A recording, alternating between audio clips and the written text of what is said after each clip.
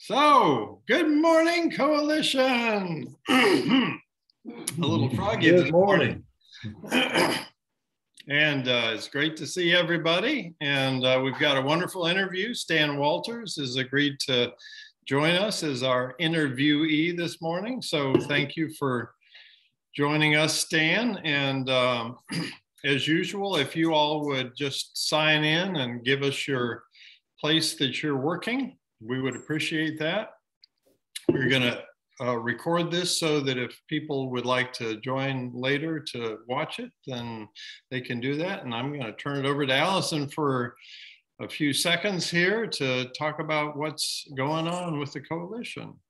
Um, hello, everyone. Good morning and happy Friday. I hope you all had a great week. I just have a few updates this morning. Um, the first one is just a reminder that our next coalition meeting is August 20th. Um, please let me know if you need to um, if you need to receive that calendar invite again, and I'd be happy to resend that to you. Um, a member email went out yesterday with a few resources and events. Um, just a few events that I would like to highlight. The Carolina Center is hosting their virtual conference, so please see your member email or visit their website to register for that. Um, Transitions Life Care has a fall caregiver summit, so please see your um, email for more information on that. And then the Coalition on Aging is having their annual meeting and luncheon, which is a hybrid model in September on the 24th. Um, so again, visit their website for more information about that. And then the last update I have for you is um, Parvati from the caregiving work group was a part of a webinar yesterday on a caregiving guide. Um, so please see your member email for more information on that and then access to that guide. Thank you, David, and welcome, Stan. Thank you very much. Thank Pleased you, to be here. Allison. All these smiling faces. Yeah, it's great. So, Stan, Yeah. you were, you're a native Ca- uh, North Carolinian, and Mhm. uh, you you uh, you were born and raised in Durham. You told me. So tell me a little bit about uh, what what it was like growing up uh, as the middle child of three brothers, and what y'all did when you were growing up.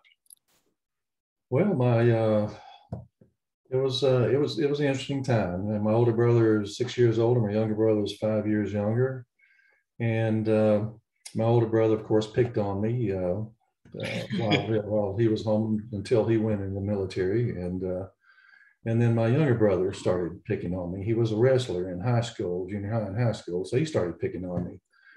But uh, but anyway, managed managed to make it through. It was, it was a great family, uh, and uh, Dad um, worked six days a week for Belk Leggett in downtown Durham when there was actually a downtown uh, downtown Durham before. Hmm. And mom was a graduate of the Watts School of Nursing in 1938, nursed for 44 years, Hmm. all graveyard shift.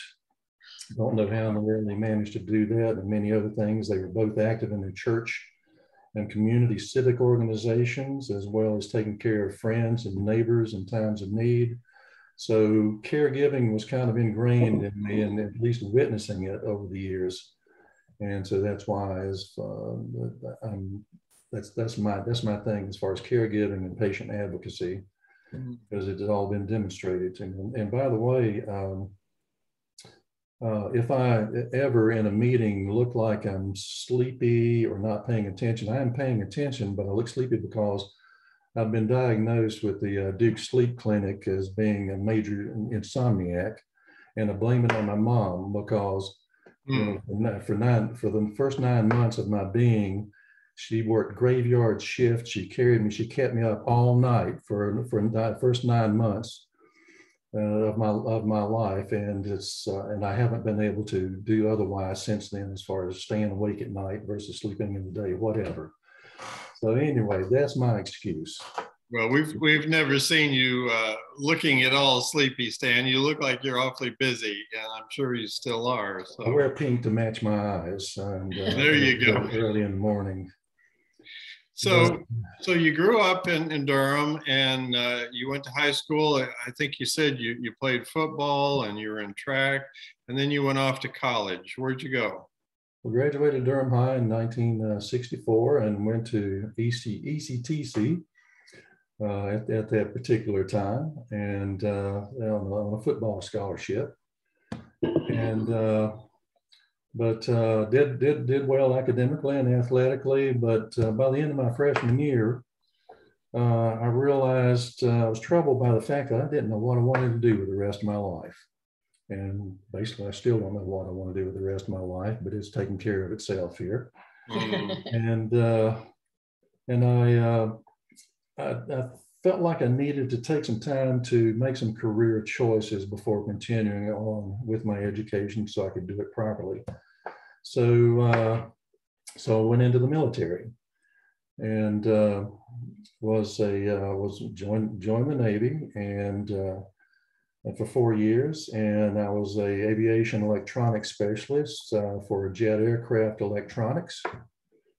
And uh, after returning back to Durham and back to ECU, got my business administration degree and interviewed with Texas Instruments, who actually built a lot of the equipment that I worked on in the military, and they readily said, "Yay, verily, come on and go to work for us." And uh, and I was a for them a manufacturing engineer and manager, uh, doing research and development and uh, and uh, manufacturing of uh, missile guidance systems for the military. Very very interesting to say the least. So so let me stop you for a second. Yeah. First of all, uh, was your draft number low? No, not really. Oh, Uh, all right. I just, just wasn't. just checking on that.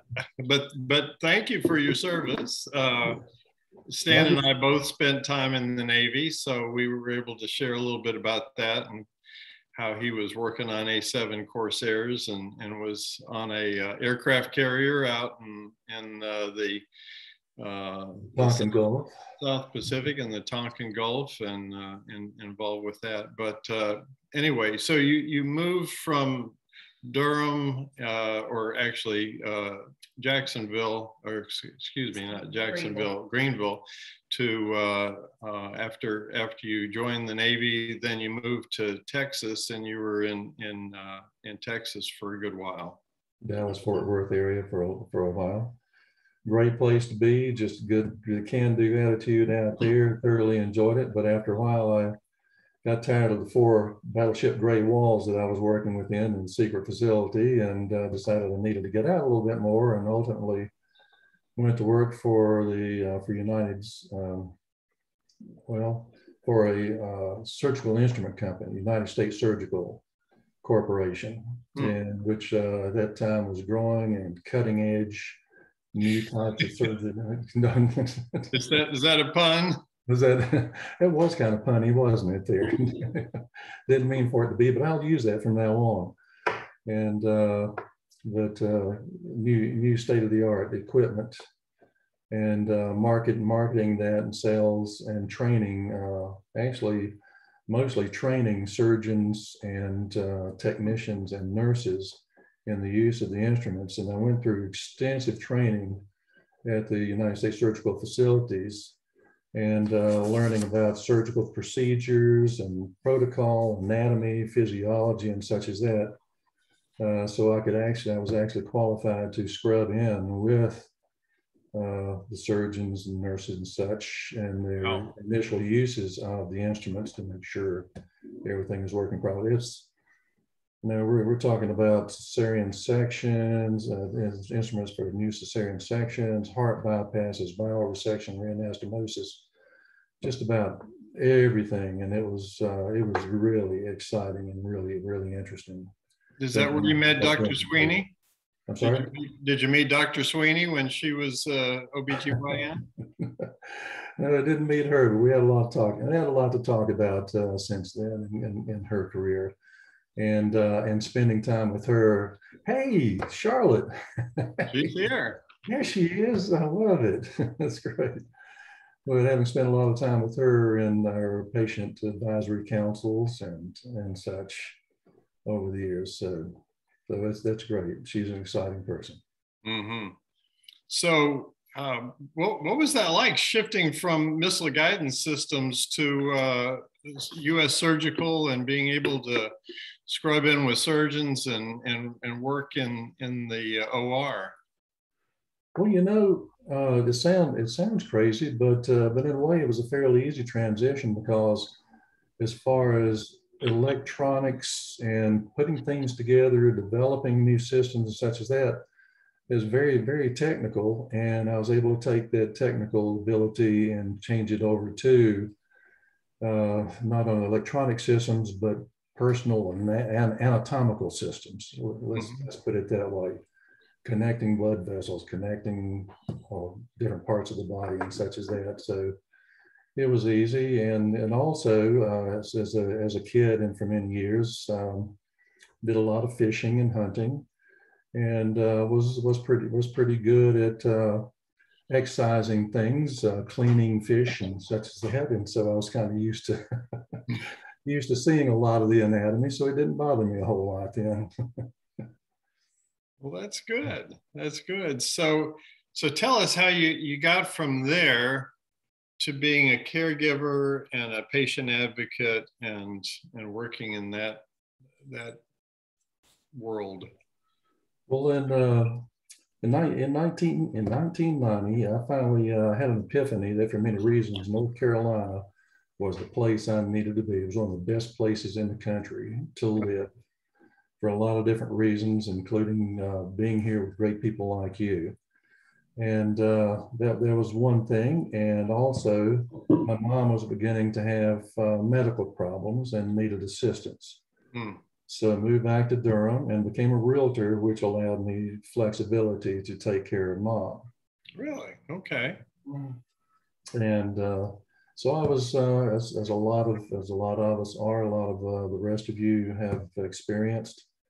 Uh, I was more or less alone in my uh, endeavors to take care of mom. My brothers lived in Alabama and Ohio, respectively, and they could have helped if they would. They would have helped if they could have, but families and jobs didn't allow them uh, to be here.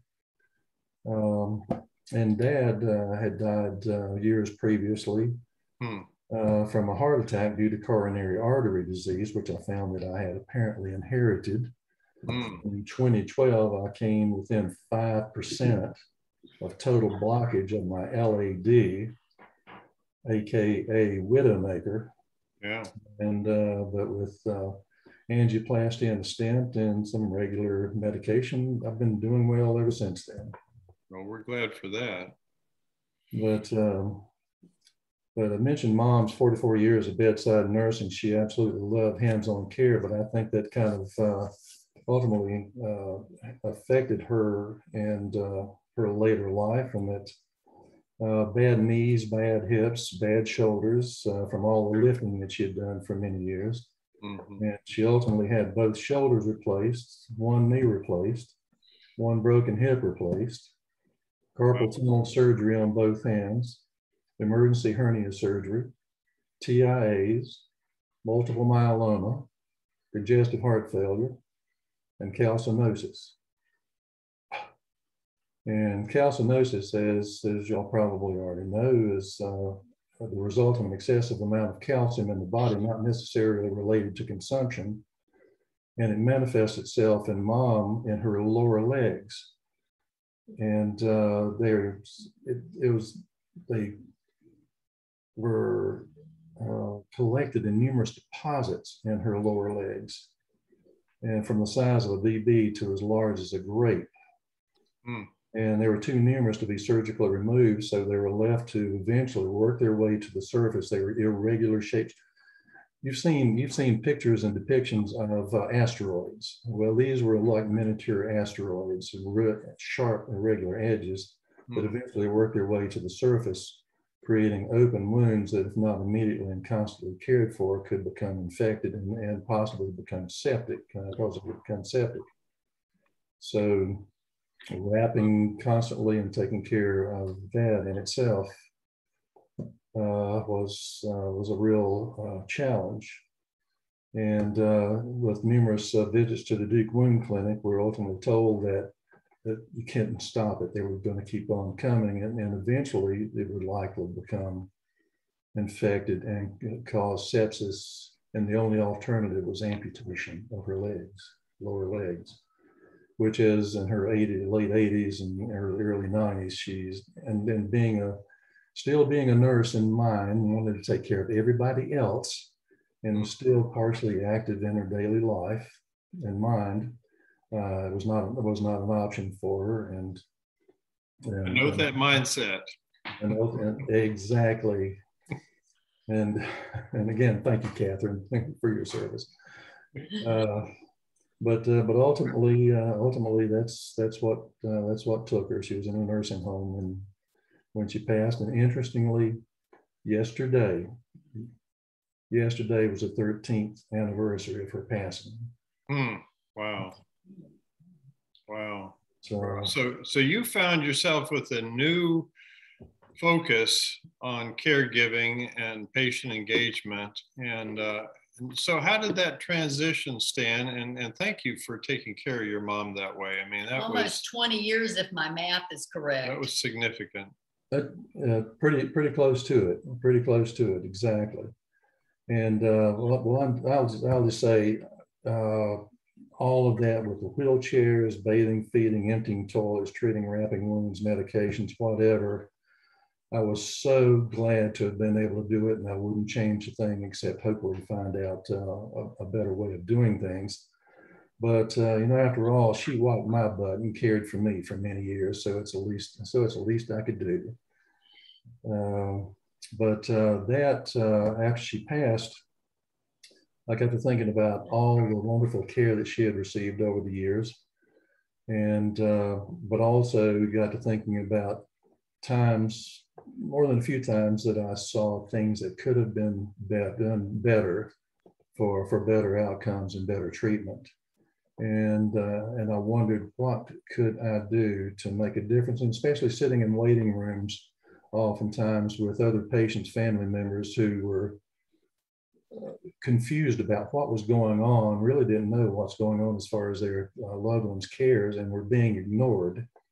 So, what could I do to make a difference, and also to make uh, for patients and family members, and also for the nurses? That was one of my that was one of my big things too. If I could make things easier for everybody, and especially the nurses, if the nurses had a better had, had it easier, then the patients would uh, could get uh, better better care. And I say that because not only was my mom a nurse, but my wife is a nurse, our daughter's a nurse, my wife's twin sister is a nurse, and uh, so I, so I hear the frustrations and the celebrations, uh, all within HIPAA guidelines, of course. Mm. And uh, you didn't know there was a nursing gene, and you passed it on.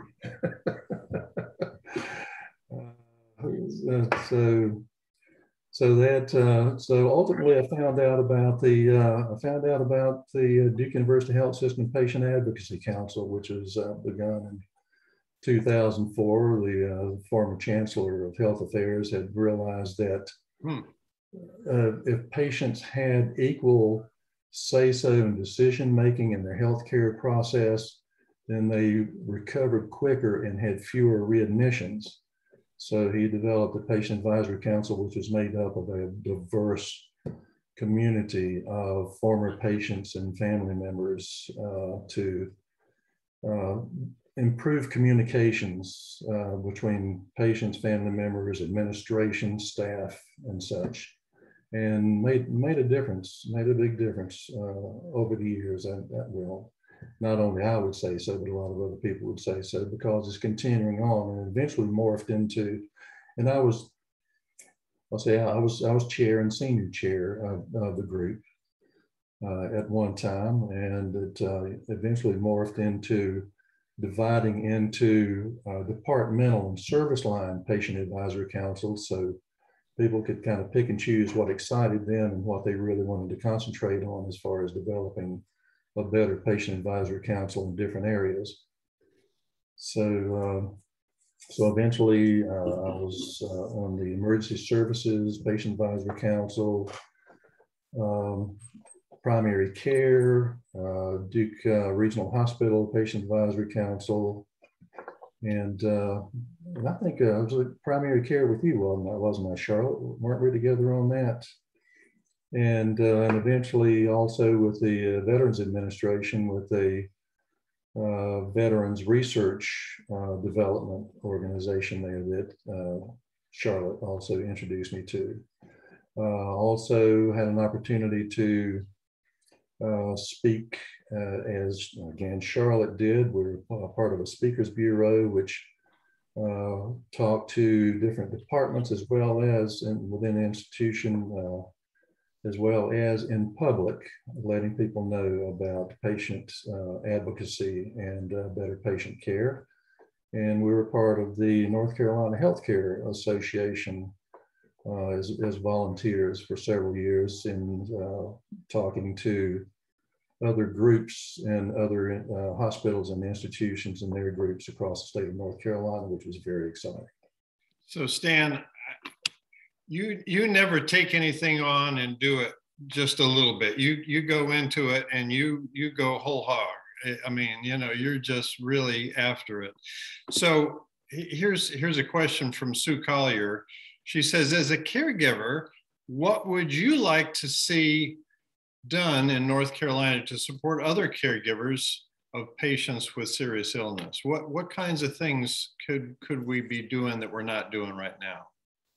Well, some type of some type of information format, um, and I, and I know I know we've touched on a lot of things in our in our coalition and the different groups in our coalition, and I just wish we could morph them all together and then combine them and direct them into uh, into a information bank that maybe had one or two uh, places to go to for people who can and will use the computer or any of the devices to go to these information information banks and pick out uh, things that interest them that they need help with to be able to go to to find information and and support. Uh, that's just uh, one of the things. As a matter of fact, uh, uh, just yesterday, also, the wife of a, a, long life, a long time friend of mine who has developed uh, um, Alzheimer's. Uh, she called me and said, Stan, I'm having a terrible time trying to find information about where I might be able to place Bob for, for continuing care. So, uh, so, so things, things like that. It needs needs to be developed and developed quickly. I, I think that's that's very uh, well said, and and I think that's a uh, an area that certainly our, our caregiver and, and patient engagement working group can can focus on. Uh, I hope you're listening, Karen.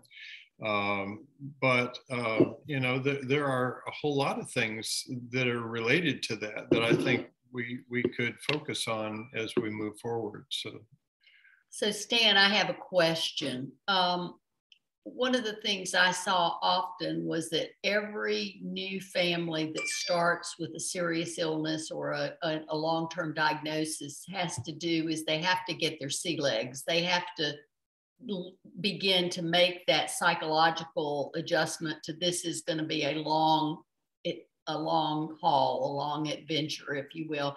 How can we get how what can we do to help get information to people earlier so that they don't have to find it all themselves? Because one of the things i see over and over again is everybody starts exploring and it takes them different amounts of time to get to the point where they feel like they know where some of the resources around them are and some of the support is.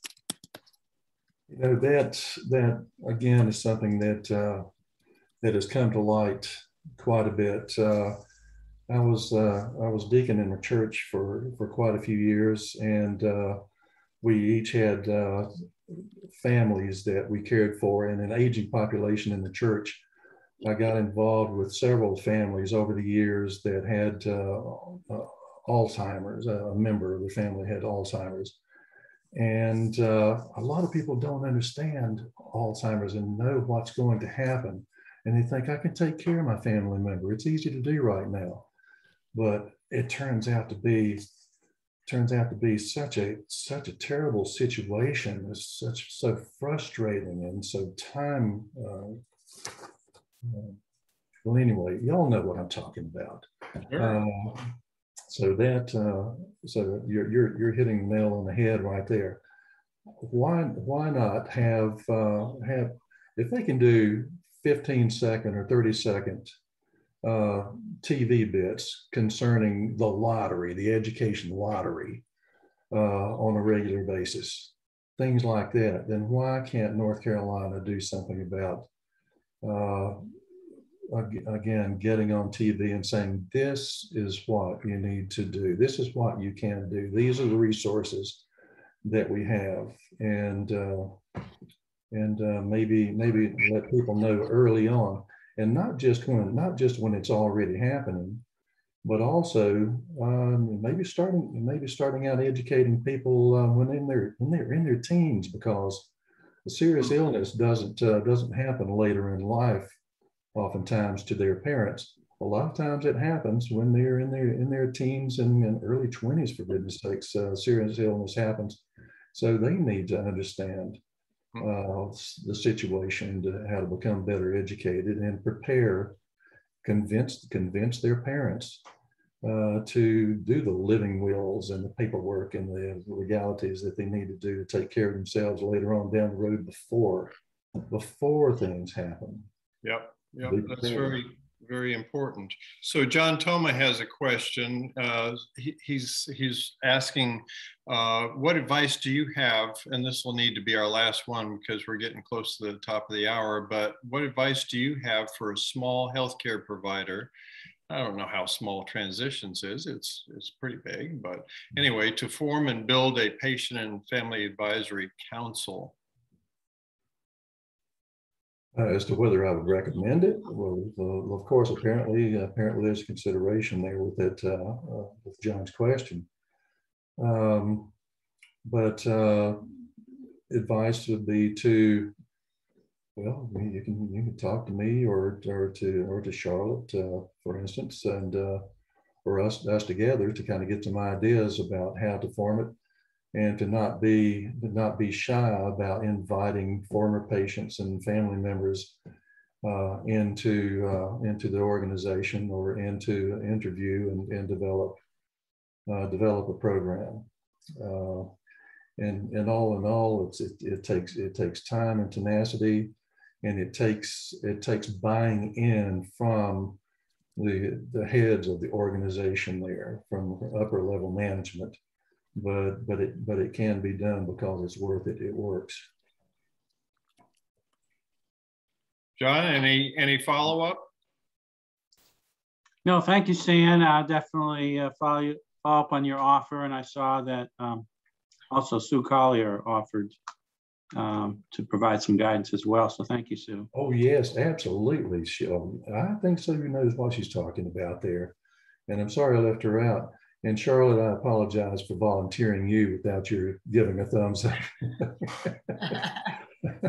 well, we, we've got so many folks here, and you know, Heather and Mary, and and certainly Charlotte and and Sue, and and many folks that have uh, been engaged in patient engagement and, and uh, caregiving. And obviously, and obviously, numbers of people in our coalition that are favoring patients advocacy, and that's why that's why everybody's here to, to make it to make it better. And thank thank you everybody for what you do. And thank you, Stan, for sharing your story with us this morning. It's great to learn more about you and uh, about what you've been doing. And man, you've had an exciting life. It's been interesting and it's been it's been great. And to and to to highlight things, thank you for letting me be a part of this organization as well. This this is a highlight. There's no doubt about it. Thank you. Well, we appreciate it, and uh, we hope everybody has a great weekend. And we'll look forward to seeing you all later. Thank you. Thank you. Thanks, Dave. Thanks, everybody. Take care.